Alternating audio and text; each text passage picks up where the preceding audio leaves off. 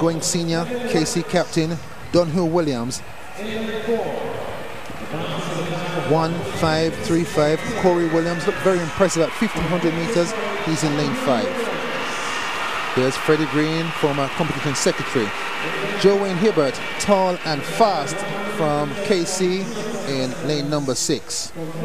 In lane 7, that's Marlon Dixon of Calabar. He knows that Calabar needs key championship points. And on the outside in red and blue of Camperdown, like Raymond Stewart, it's uh, Siobhan Barnes of Camperdown on the outside.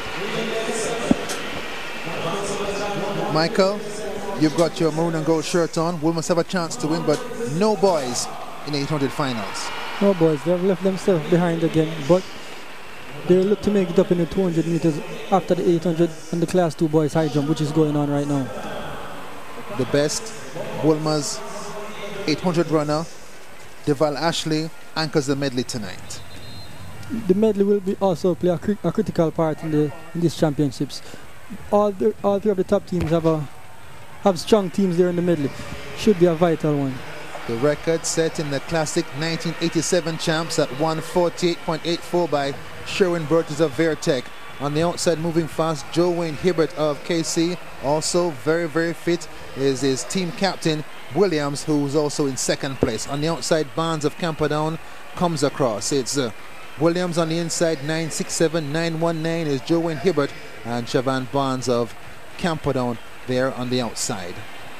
Williams has started fast and uh, has tried to finish fast. Last year, his bid for the gold medal ruined by a late bout of flu, and here he tries to win his last championship individual race. Williams, the KC captain, his teammate coming through, Kevin White, Holmwood moves into second. It's Dunhill Williams, he's speeding on the first lap, 53.9, very, very fast. Has he gone too fast, Juliet Cuthbert, on the first lap?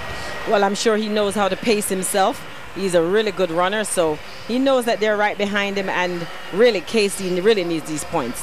The record has stood since 1987 at 148.84. Kevin White in second of Holmwood. One of his coaches, Seymour Newman, the national record holder, he challenges Williams with 200 to go. Williams is fast, but is White faster? Tries to pass on the outside. That's dangerous. It's uh, Williams and White, KC and Holmwood on the inside. Dunhill Williams and White gets by. It's Kevin White, the central champion, gets past the KC captain Williams.